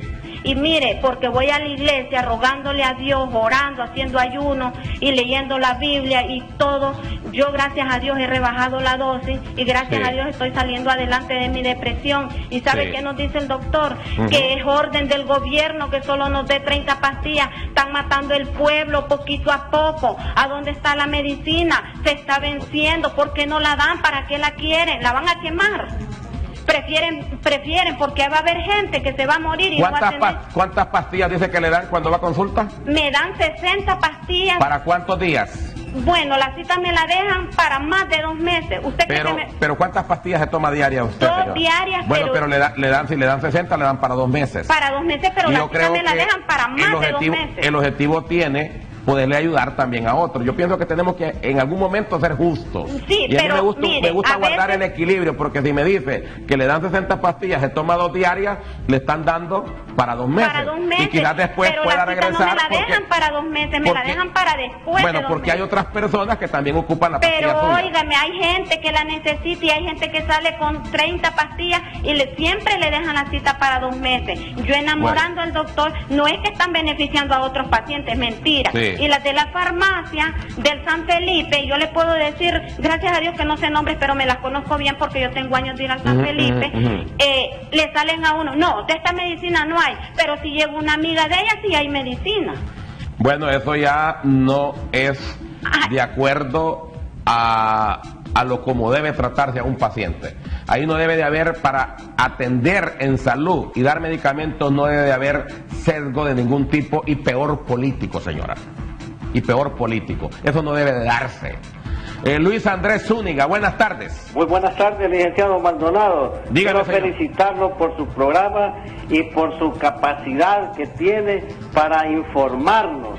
Quería eh, participar, digamos, en eso de opinar Sí. sobre lo que es esos medicamentos vencidos. Sí. Eh, es necesario que tanto la ministra de Salud como el presidente Juan, eh, Juan Orlando Hernández puedan responder por esos grandes millones de medicamentos que se han vencido y gente pobre que somos necesitando esas medicinas y por qué las dejan vencer. Sí. Entonces la ministra tiene que dar la cara y dar un informe por qué se ha vencido, que no se gane el salario solo Sí. sentada en su oficina. pues. Así es, Entonces así es. tiene que ver por qué en esos hospitales eh, están esas medicinas vencidas. Y, y yo quiero felicitarlo a usted, señor Maldonado, porque es el único programa que defiende a este país. De ahí ningún otro medio de comunicación eh, habla a favor del pueblo. Les gusta hablar solo de política.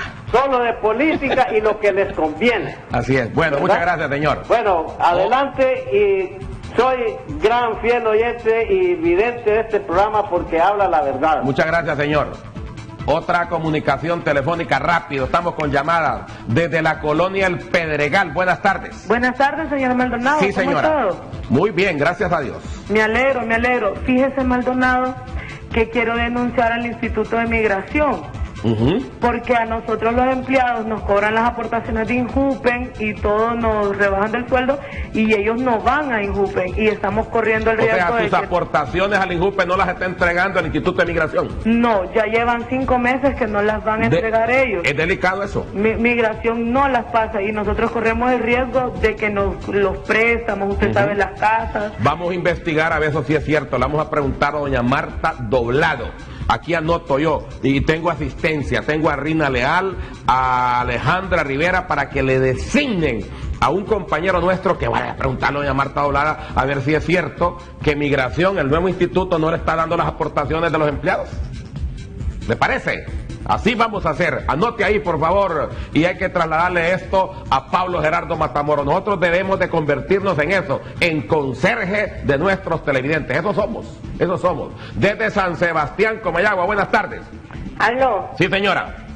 le hablo de aquí del barrio San Sebastián, de Comayagua. Dígame, señora. Le doy gracias a Dios porque en tanto tiempo de, de estar tratando de comunicarme con, con usted, pues hasta hoy me cae una llamada. Yo le pido disculpas, pero... no, que- yo es que- soy fiel oyente de su programa y me gusta escuchar cómo usted debate y defiende a los pobres. Y es verdad, eso de eso es una grosería, eso de, de que se venzan todos los medicamentos en los hospitales.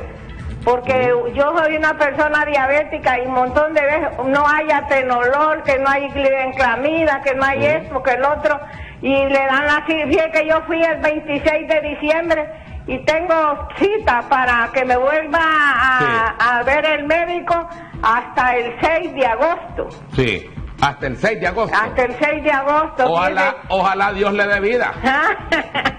Sí, uno siempre consigue medicina porque Sí. uno busca las amistades de uno allí Sí. y se consigue.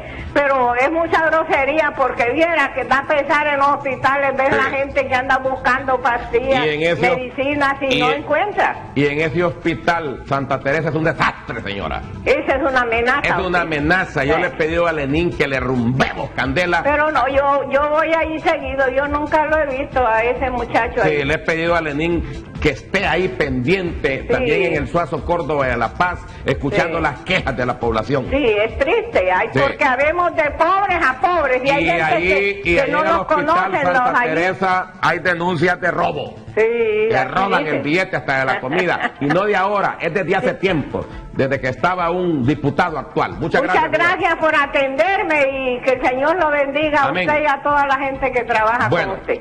bueno, me están diciendo en efecto, si una persona se toma dos pastillas diarias y le dan 60, solo tiene para un mes. Me corrigen acá y estoy 100% de acuerdo. Desde Flores de Leán, esto en Esparta y en Atlántida, buenas. Bueno, se cayó la llamada, por favor, atentos, atentos con las llamadas. Vamos de inmediato con otra comunicación telefónica. Voy a estar hasta las 3 y 10 con llamadas. Paso con Carolina Lance y luego una pausa. Colonia Kennedy, buenas tardes. Buenas tardes, don Maldonado, y a todos sus periodistas que tiene usted en, en este eh, canal, ¿verdad? Ajá. Eh, yo quiero decirle que, mire, eh, con esto es una, como dice usted, una ingratitud lo que se ha hecho. Es demasiado. Es, es demasiado. Mire, el, el problema ahí no hay, no hay que echarle culpa a los doctores que están dando, cla- eh, dando consulta ni a las enfermeras. Hay que agarrar a la ministra y ella es la que tiene que No, informar. y también los administradores de los Sí, hospitales. sí, pero la, la- mire, don una- mire, la ministra yo le voy a decir primero... algo. Hay una más, mire, hay una, ha habido- le digo porque uno como comunicador sabe, en los hospitales de décadas ha habido una mafia, ha habido una mafia que mata gente. Que mata gente, que mata gente. Oiga bien lo que le estoy diciendo, que mata gente por seguir manteniendo su negocio. Y muchos ministros no se han querido meter a este asunto porque también matan. Y a mí me gusta balance. Yo siento que la ministra eh, está actuando al hacer estas denuncias correctamente. Sí, don Maldonado, pero tiene que estar más seguido, visitando Ajá. hospital por hospital y Así todo y, y preguntarle al, al, al, al que va a, a consulta, señora, ¿le entregaron medicina o no le entregaron medicina? Así es, debe haber. Preguntarle al, al paciente, no al, a la enfermera, no al- a los a los que están ahí trabajando. Y hacer un inventario, cuál le dieron Así cuál es, no le dieron. es un, es un crimen, un crimen que lo que hayan hecho. Sí, muchas gracias, señora. Otra llamada telefónica rápidamente. Desde Colonia Santa Fe, aquí en la capital. Buenas. Buenas, don Maldonado. Sí, señora. Mire, yo también quiero denunciar el seguro social porque ahí no hay nada de medicamentos. Sí. Ayer yo fui a consulta, imagínense que ni amoxicilina para los niños hay. Ah, dale. Y otra, otra cuestión, las incapacidades del 2014 de maternidad no las están pagando y las del 2015 van por la 8. Eso es injusto. Deberían de ir en orden, año tras año. Entonces, no sé qué espera esa Junta Interventora para empezar a pagar Sí. esas incapacidades. Muchas gracias. Las incapacidades en el seguro, que a- mire, a pesar del saqueo que hicieron en el seguro, no se ha muerto. Yo estoy admirado que a pesar del saqueo que le hicieron al seguro, no está muerto, porque hay, hay, eh, hay- ahí han ido pagando poco a poco, compran medicamentos, ahí van, hace falta, desde luego. Pero ahí, ahí han ido saliendo, cuando las cosas se manejan transparentemente. Buenos Aires, buenas tardes. Buenas tardes, Maldonado, que hasta hoy me cae llamada. Tengo tiempo de mirarlo y oírlo. Lo siento, señora, pero es que aquí, tras de que se hable la planta telefónica, son Sí. centenares de llamadas las que caen. Nunca he podido Aproveche. comunicarme, hasta hoy me cae. Mire, Maldonado, yo soy paciente del tórax y a mí no hay medicinas ni para la presión alta, yo padezco de asma, ni de corazón, ni nada me dan a mí. Todo tengo que comprarlo yo. Ahorita he estado mal porque nada de medicinas me han dado. Bueno, mire, la gente se muere por falta de medicamentos. Mire, el que tiene recursos, pues los compra. Y el que no tiene, que es la mayoría del pueblo hondureño. Y, se invierte millones y millones y otros se los roban. Mire qué vaina. Mire qué vaina. El que no tiene dinero tiene que ir a los hospitales públicos. Y en los hospitales públicos hay mafias que se roban los medicamentos. No puede ser. No puede ser. Hay que actuar de inmediato. Y que no importa lo que pase, si hay, si hay que rodar cabezas, pues, pues que rueden. Pero tampoco no se mira bien que el Estado esté comprando y otros estén robando. Estos administradores deberían todos de, de hacerle las pruebas de confianza. Dicen que no hay un administrador de un hospital pobre. Colonia Alameda, buenas. Buenas tardes, don Eduardo. Sí, Eh, señor. Lastimosamente, don Eduardo, parece que tengo la suerte de siempre intervenir en estos casos que da una tristeza a nuestro país, don Eduardo. Sí. Mira, don Eduardo, un país tan mísero como este y ver esas cantidades de esos productos que se venden, pero ¿sabe qué es lo más triste, don Sí. Eduardo? Que este es un tema, don Eduardo, que yo creo que solo usted lo toca, porque usted sí es un fiscal del pueblo. La verdad es que la prensa de, bueno, en los países ricos, un caso de corrupción, la prensa cuando lo ataca, don Eduardo, no lo suelta hasta que hay un hasta que hay algo al respecto. Pero aquí, don Eduardo, vea usted 600 millones de lempiras. Don Eduardo, eso es una, bueno, es que es un dineral para un país como este. Es una canallada horrible. Horrible. ¿Dónde está la ley, don Eduardo? ¿Dónde está el presidente? ¿Dónde está la administradora? ¿Dónde está la justicia social? Mira, don Eduardo, aceptémoslo. Vivimos en un país que yo realmente se lo juro, don Eduardo. Yo ya no sé si aquí funciona la lógica. O sea, no sé pues si donde Sí. vivo tiene sentido opinar con lógica, porque aquí Sí. parece que todo está mal, don Eduardo. Muchas gracias, Buenas varón. tardes. Muchas gracias, varón. Pero está bueno que esto salga. Pero nosotros no queremos que solo salga, sino que se actúe. Porque también muchas cosas ahora en este nuevo rol están saliendo y salen a flote y hay denuncia, pero lo que queremos es que haya responsables de ello. Colonia Tiluarque, buenas. Buenas. Sí, señora. Buenas tardes, lo felicito por su programa. Y quería decirle, mire, yo soy una persona diabética y cada vez que voy al seguro a, a traer una un medicamento que me lo recetaron para toda la vida, nunca hay. Ajá, y estoy oyendo lo que está diciendo sobre el dere- que tienen que pagar más los derechohabientes. Ajá, ¿y por qué no le aumentan a uno los jubilados y los pensionados que solo le dan una babosadita? Y no le aumentan y dicen que quieren más dinero para el seguro y no hay medicamento para nada. No hay medicamento, a mí me recetan tanto medicamento, cojo como cinco medicamentos y cada vez que voy me dicen, no, no hay, no hay de este, no hay del otro. Ya ve, y me tengo que venir sin medicamento. Cada medicamento que a mí me recetan me cuesta siete, 700 pesos, 500 pesos, porque son unas pastillas que se llaman rinopatía diabética y nunca hay. Se llaman gabapentina y nunca hay. Cada vez que mando yo me dicen no hay. Y cuando Bueno. voy a emergencia, ¿qué es lo que hacen? Solo tomarme el azúcar. Espérese que ya le van a poner un suero, dice. Sí. Se puede imaginar, Y licenciado. ese caso suyo, por eso es que estamos hablando. Hay miles de casos de personas que su muerte se va acercando cada día porque no tiene el medicamento.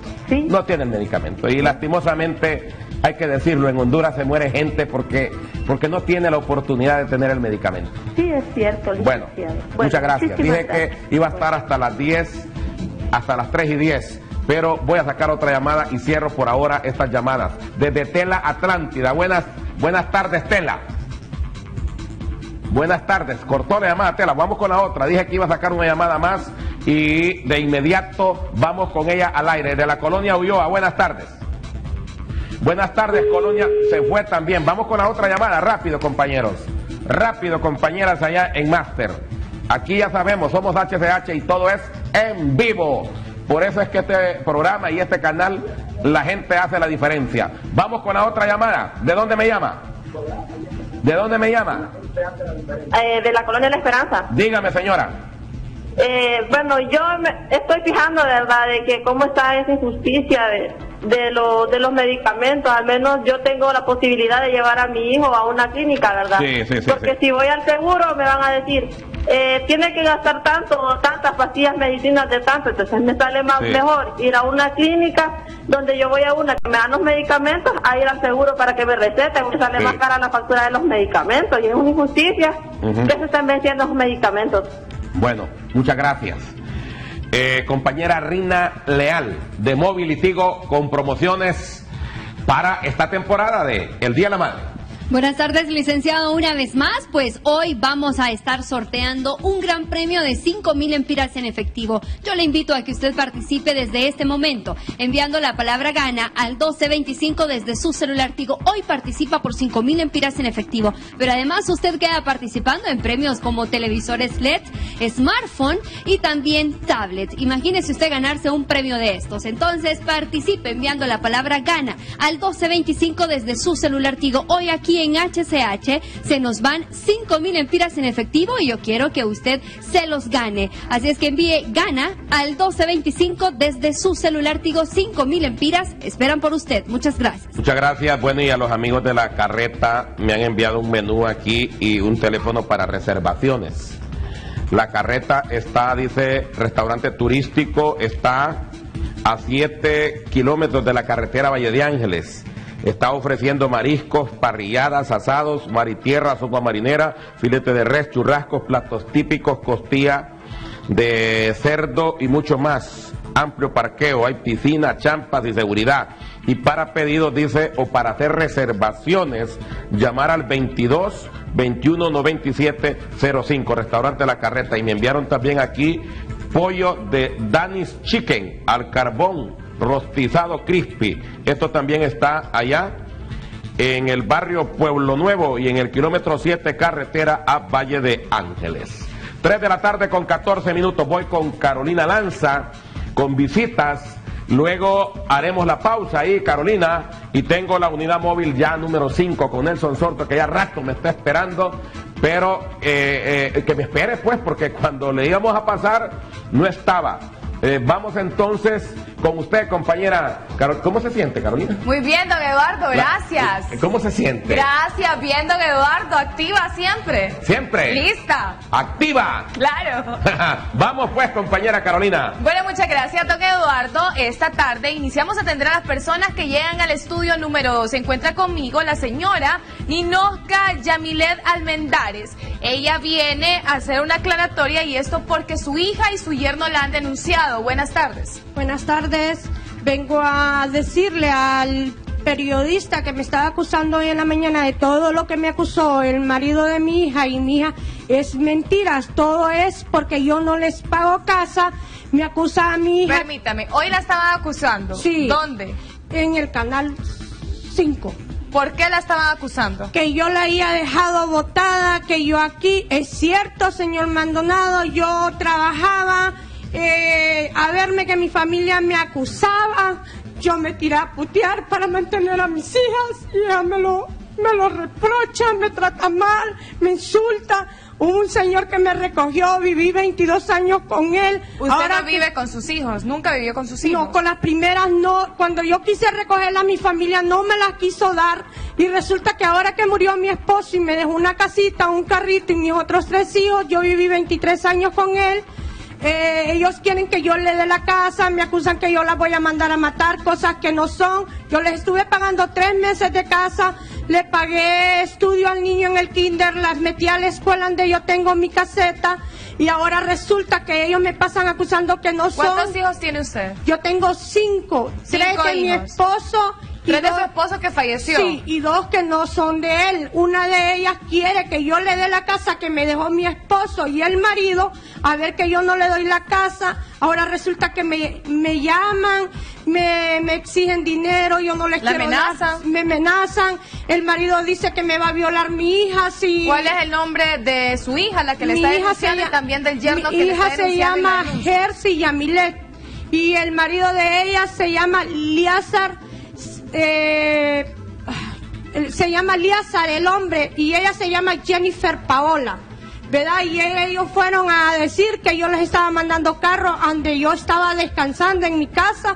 Yo tengo miedo porque mis tres hijos, el mayor, el otro anda trabajando en una mototaxi, la que me dejó mi esposo. Yo y mi hija salimos a las 5 de la mañana a la escuela, salimos a las ¿Cuántos 5 de la años tiene tarde. su hija, la que va a la escuela todavía? 15 años va a cumplir mi hija. 15 años. Sí. Entonces su hija y también el, El- esposo de ella lo amenazan y le dicen a usted de que le van a violar su Sí, hija, si tiene yo no le doy su dinero. vida, contra la vida de sus hijos. Si usted no le da el dinero y además la casa que la ellos quieren. casa que ellos quieren. Y resulta que hoy me estaban diciendo por los medios que yo le había dejado botada, que yo era una mala madre. Ellos primero tienen que preguntar y saber cómo son las cosas, ¿verdad? Primero hay que actuar uno, saber bien las cosas. Yo lo único que yo les digo, no me insulten de esa manera. Primero pregunte qué es lo que ha pasado en mi vida y mis primeros hijos. Yo ya no podía, señor Maldonado, andar puteando en la calle para mantenerlas a ellas. Yo tenía que hacer mi vida. Y ahora que ellas me agradecen con esa manera, el marido de ella lo llevaron el viernes antepasado preso porque me pegó. Y los de la M, los PM lo llevaron, lo tuvieron 24 horas detenido. Me insultó como quiso, el señor juez le dijo que acaso no era hombre. Entonces, ¿por qué? El señor de Canal 5 me trata que soy una mala madre, que soy una perra, que soy una... No, las cosas no son así. Yo vengo a aclarar, debía de preguntar él, mandar un periodista cómo fue mi vida pasada, por qué ella actuó así, porque yo no le quiero dar mi casa. Una pregunta muy importante. ¿Usted ya fue a poner la denuncia que recibe fui. amenazas de su hijo y de su yerno? Sí, ya fui a poner la de amenaza. Allá le fuimos a la. Vengo ahorita de, los de los juzgados. Él dijo que quería que llegáramos a un acuerdo. Pero ¿A qué ella. acuerdo le dijo que quería que llegara? Que llegáramos a un acuerdo que aquí, que allá, que el otro. Mire, él dice que miró unos carros pasar allí donde nosotros vivimos una zona caliente. Yo no tengo que meterme ¿Dónde con el vive, vecino. señora? Yo vivo en la colonia Unidad y Fuerza. Yo tengo una caseta por la voluntad de Dios que me la ha dado el profesor Elvin Arrazola. Los padres de familia me han apoyado. Tengo siete años de tener mi caseta. Yo le di de estar en mi caseta. Él y él me robaban a ver que ellos me estaban robando. Por eso yo lo saqué. Y con eso actúan ahora. Porque yo no les pago la casa. Y quieren la casa de mis hijos, el carro él. Y me ha acusado que me va a violar mi hija y me la va a matar.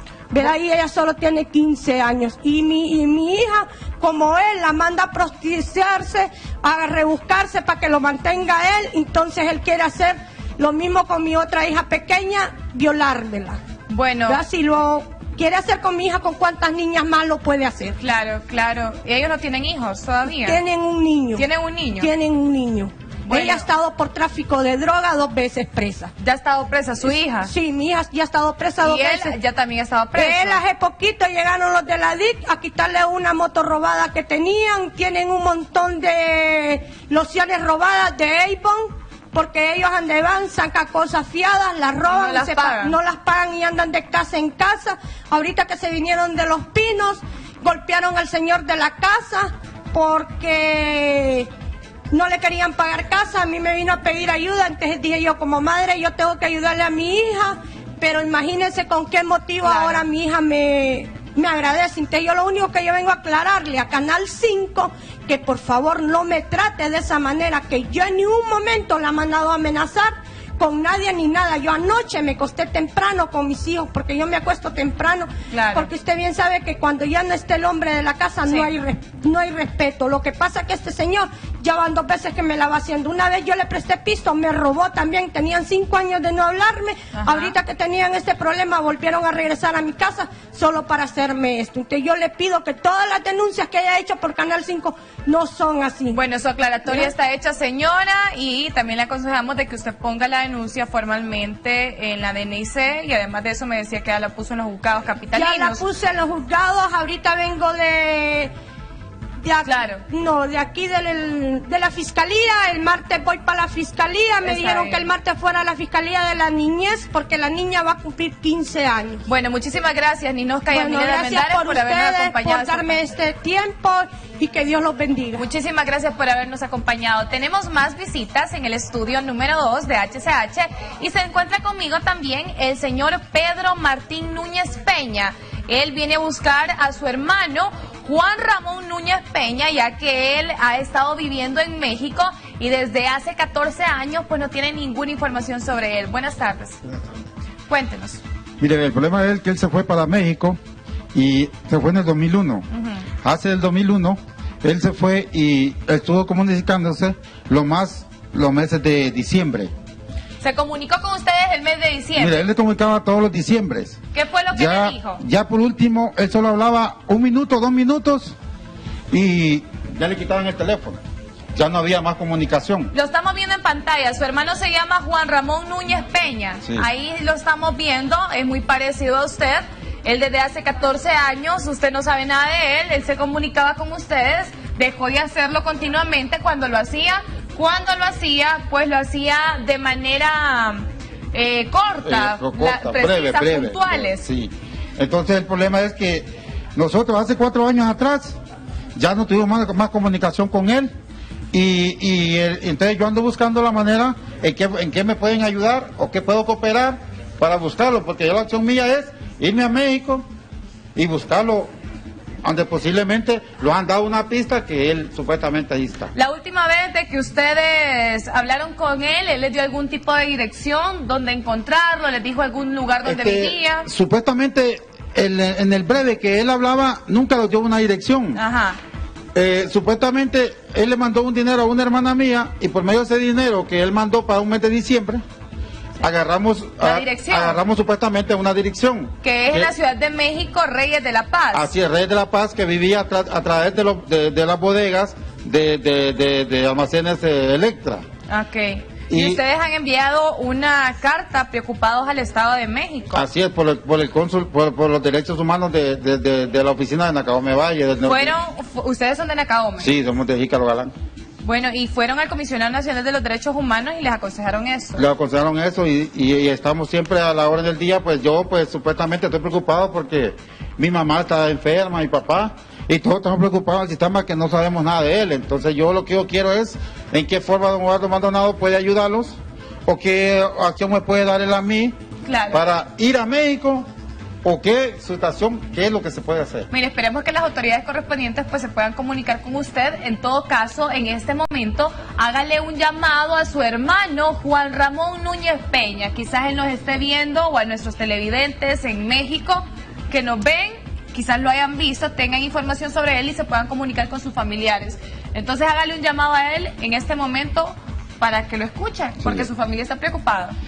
Pues mira, mira, hermano Juan Ramón Núñez Peña, nosotros te hacemos un llamado, te habla tu hermano Martín Núñez, te hay un llamado de Galán, voy a ver, ahí están los números de teléfono, que te puede informar a, a mi teléfono, al teléfono de mi papá. Y quiero que te comunique, pues, inmediatamente si estás preso, estás, estás, eh, este, perdido, estás, están exigido, que, te- que estás enfermo, estás tunco, estás como estés. Nosotros queremos una información y quiero que nos digas qué es lo que tenés y qué es lo que te pasa, para que así nosotros estar contentos y podemos, a ver si yo puedo ir a México, a ver tu, tu, tu- tu situación, cómo vivís, porque nosotros lo que queremos es que esté bien. Si él está bien, que esté bien. Y si él está mal, pues traerlo y nosotros queremos tenerlo en la casa. Para que esté con su familia. Así es, para que esté con su familia, porque además está bien preocupada y no sabemos nada de él. Claro, los números de teléfono donde se pueden comunicar con el señor eh, Pedro Martín Núñez Pedro Peña Martín Núñez y don Peña. Martín Reyes, el papá de Son el 8845-9828 o al 3258-6469. Estos son los números telefónicos donde ustedes se pueden comunicar con ellos. Además de eso, le pedimos de que no llame para molestar, que llame para que tenga información. Si usted televidente lo conoce, lo ha visto o en México tienen información, alguna autoridad, pues que se comuniquen con sus familiares, ya que ellos están muy preocupados. Esperamos de que su hermano lo encuentre muy pronto en el nombre de Dios, pues que le llame y que se comunique con ustedes y así finalice esta preocupación que ustedes sienten. Bueno, gracias, pues, gracias, pues, don Aldo Manado, por darme esta oportunidad. Y estamos muy agradecidos y siempre miramos, siempre HCH, somos de Nacaome, y siempre lo vimos para la feria, pues usted también la estuvimos viendo, Ah, bailando claro. mucho, pero mucha calor. Gracias. Bueno, muchas gracias por habernos acompañado esta tarde. Pero tenemos más visitas y se encuentra conmigo Elba Romero y también Teresa Centeno y Marcia Munguía. Ellos son de la Junta Directiva de la Escuela Carlos Roberto Reina número 2 y vienen a realizar un sorteo y esto de un teléfono celular a beneficio de esta misma escuela, este mismo centro educativo. La saludamos inmediatamente. Buenas tardes. Buenas tardes, nosotros venimos de la escuela Carlos Roberto Reina. Sí, véngase, véngase por acá. Sí, buenas tardes, nosotros venimos de la escuela Carlos Roberto Reina a hacer un sorteo de un smartphone para el techo de la... Vamos a mostrar acá. Este es los boletos. Vamos a mover. Para el techo de la escuela, ya que no tenemos ayuda del ministro, sino que los padres de familia somos los que estamos haciendo el esfuerzo por sacar adelante nuestra escuela. Ustedes como junta directiva. Somos la junta directiva de la escuela. No tenemos mobiliario, mobiliario no tenemos aseadora que nosotros, desde la idea que sacó el ministro de regresar el dinero a los padres de familia, nosotros hemos quedado con ¿Cuál, es, cuál es el valor del boleto? señor? 10 lempiras. 10 lempiras. Vamos a seleccionar rápidamente al ganador. Y es, agarre la caja, por favor. Es Kenneth Corre- Correa. Mira. Kenneth Chavarría. A Chavarría. Es que no se entiende un poco. Usted va a observar. Y ahí vamos a ver en pantalla la persona ganadora. Ahí está.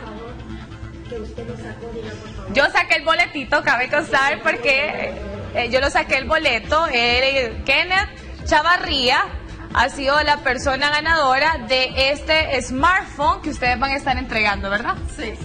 Sí, esto es para para la escuela, va para el techo Sí, de la escuela. a todos los niños. Sí, porque allí fíjese que nosotros no tenemos ayuda del ministerio. Del ministro no se acuerda de esa escuela, nosotros tenemos no tenemos sillas, no tenemos tenemos un muro que ya se nos cae y todo lo hemos hecho nosotros. ¿Dónde está ubicado la...? En la colonia San Juan Bosco. En la colonia San Juan Sí, Bosco. en el Carrizal. Y nosotros lo que le pedimos, que también hay alumnos, que así el ministro pidió que no se puede tocar a un niño, los niños allí en esa escuela sí pueden tocar los maestros, porque ayer casualmente hubieron unos niños que se pelearon y le pegaron a una maestra.